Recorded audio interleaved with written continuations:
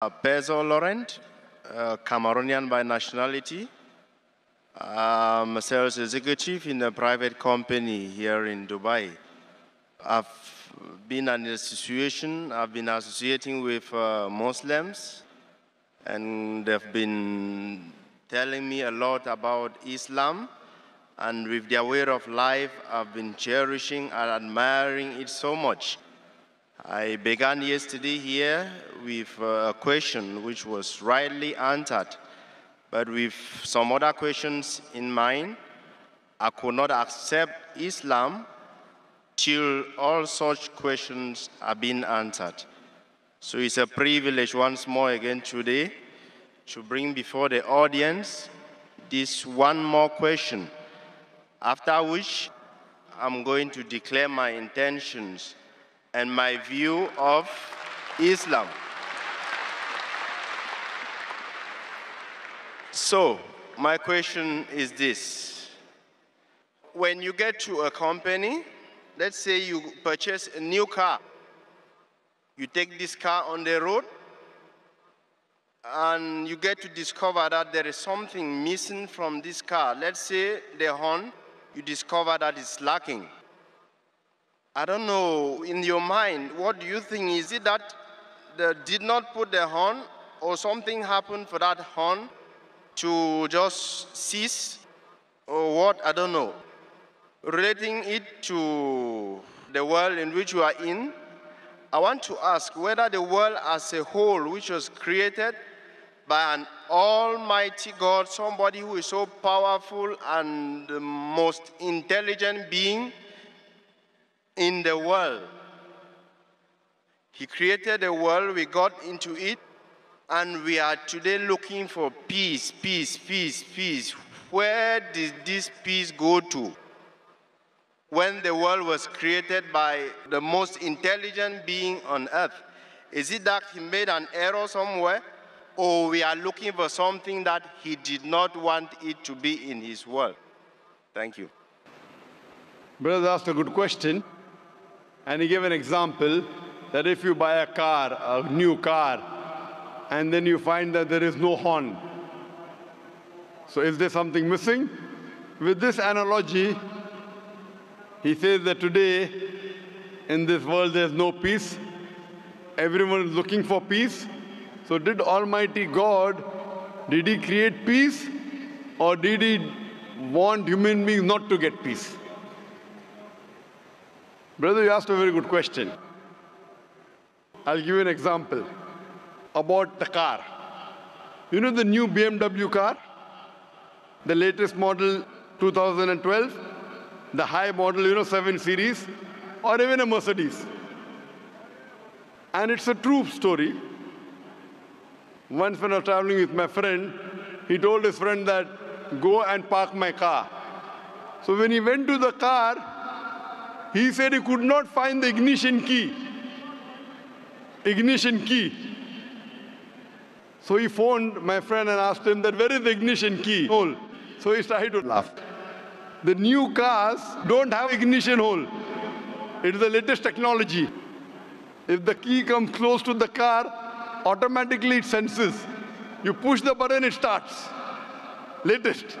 So if you're outdated, you may not know that there is no key hold required in the latest car. These are automatic. So you're searching for something, it is very close to him. But he could not understand it because he did not know about it. So Allah subhanahu wa ta'ala, as far as peace is concerned, the main source of peace is as-salam. Allah subhanahu wa ta'ala, the creator, is the main source of peace.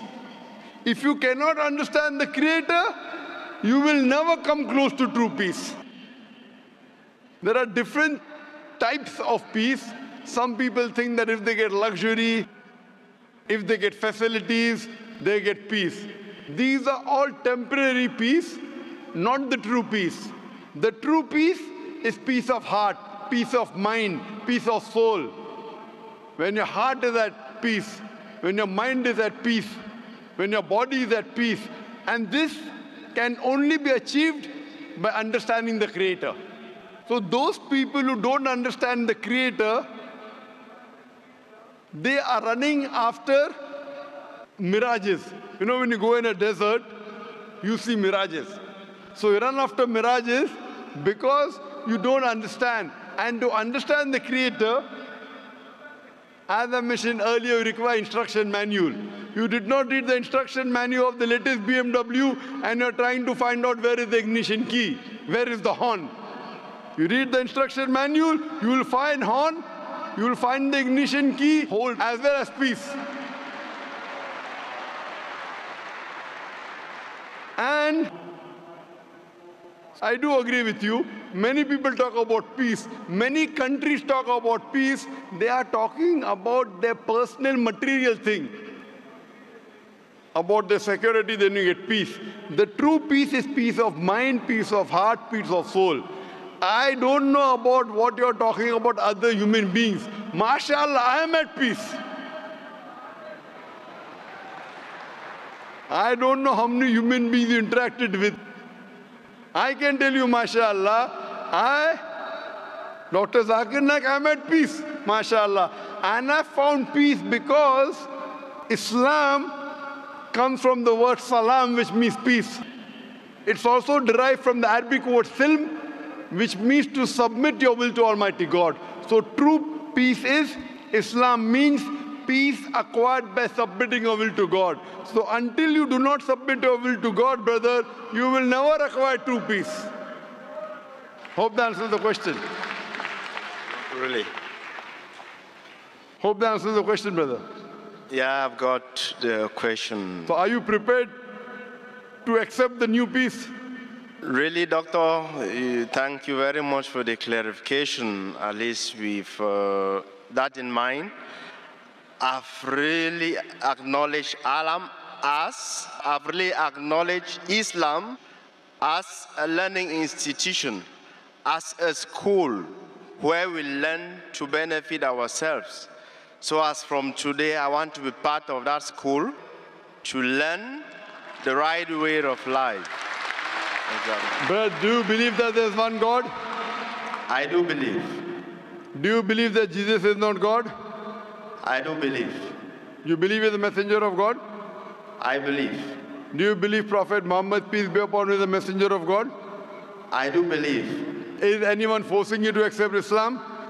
Nobody is my. Are you doing out of your free will, It's a free will. out of your own conviction?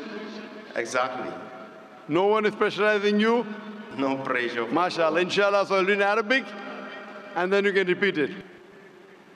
Ashadu Ashadu. Allah. Allah. Ilaha. Ilaha. Illallah. Illallah. Wa ashadu. Wa ashadu. Anna. Anna. Muhammadan. Muhammadan. Abduhu. Abdul. Wa rasuluhu. wa I bear witness I bear witness that that there is no God there is no God but Allah but Allah, and I bear witness and I bear witness that that Prophet Muhammad Prophet Muhammad is is the messenger the messenger and servant of Allah. and soul of Allah. MashaAllah, you're a Muslim.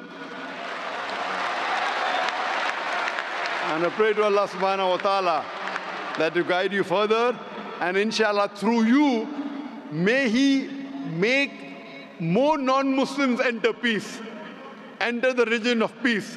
And I pray to Allah subhanahu wa ta'ala to grant you the best in this world as well as the akhirah.